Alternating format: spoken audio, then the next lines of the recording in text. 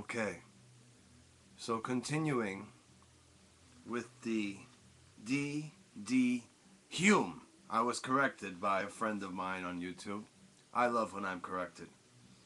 One penny for your thoughts told me. You nincompoop.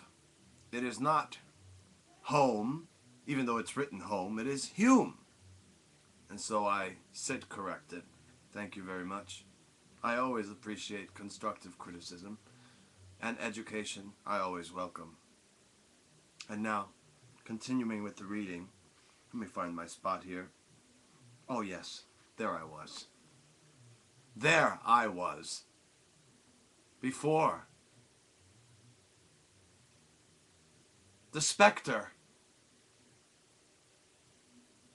of an audience that I did not see, but yet through the advances in technology, somehow I was able to reach. We are listening to, and I'm not even making this up, people, In Did Ginus. Once you were in, did you do the Ginus? In did Ginus. Spiritual spearmints provided by Nagual 17. Okay. Here we go.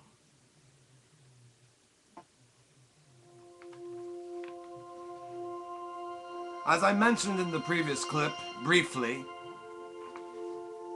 in December 1855, an attempt was made against Hume's life due to the reputation that he had gained as a necromancer. During the period while abroad, Hume joined the Catholic Church and was received by Pope Pius IX. Although this conversion was apparently short-lived and he resumed his mediumship.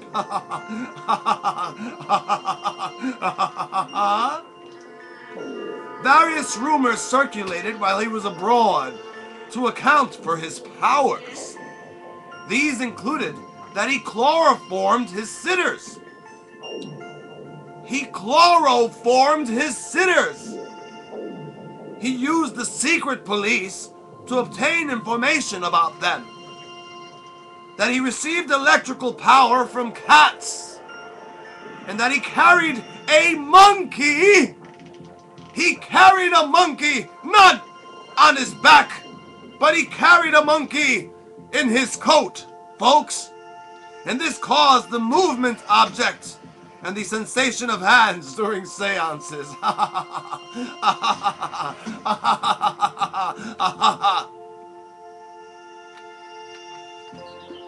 when Hume returned to Britain in 1859, he brought Alexandrina, his wife, having married in St.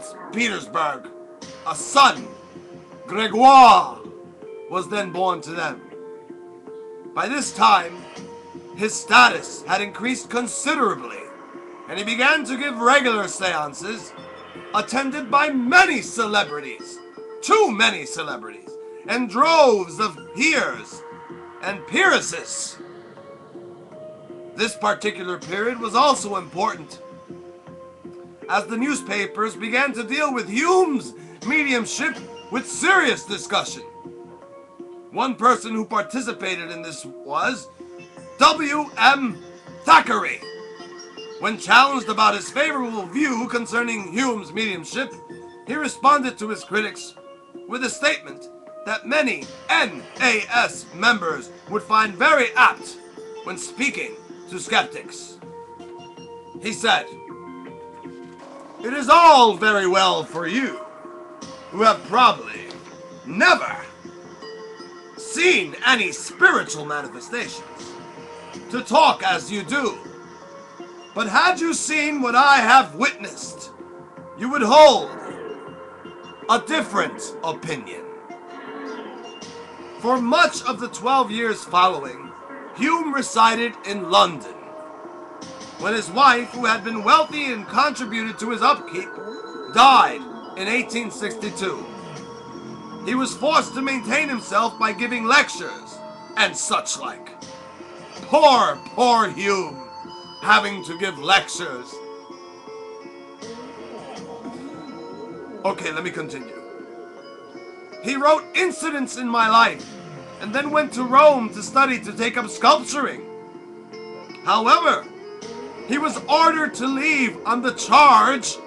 He was ordered to leave. Please, please listen. He was ordered to leave on the charge of sorcery.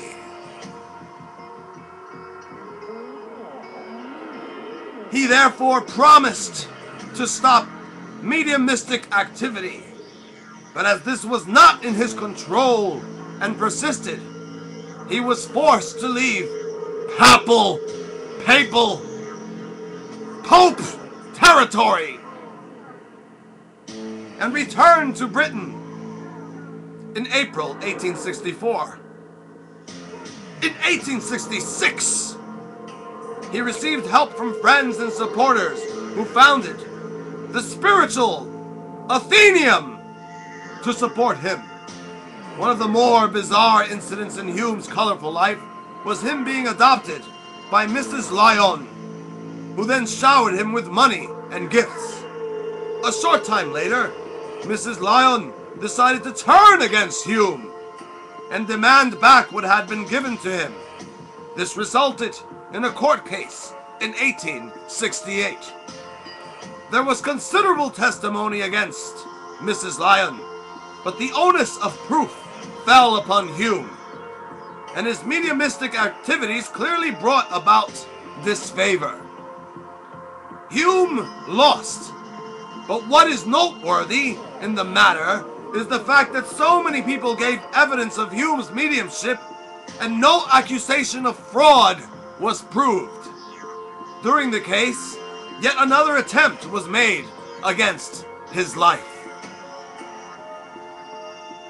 The event that is best remembered of Hume's mediumship is when, on 13th December 1868, Hume floated out of the window of a third floor room in Ashley House, and then returned via another window to join the witnesses. This was achieved in the presence of Captain Wynne, the Earl of Dunraven, at the time Lord Adare, and the Earl of Crawford, at the time Lord Lindsay. Various imaginative suggestions have been offered to account for, or rather explain away this feat, including the hypnotizing of those present, blackmail, or that Hume had accomplices. As so often happens, there are those who feel able to supply various conjectural explanations despite not even being there. But the weight of the testimony of those actually present cannot be so easily discounted.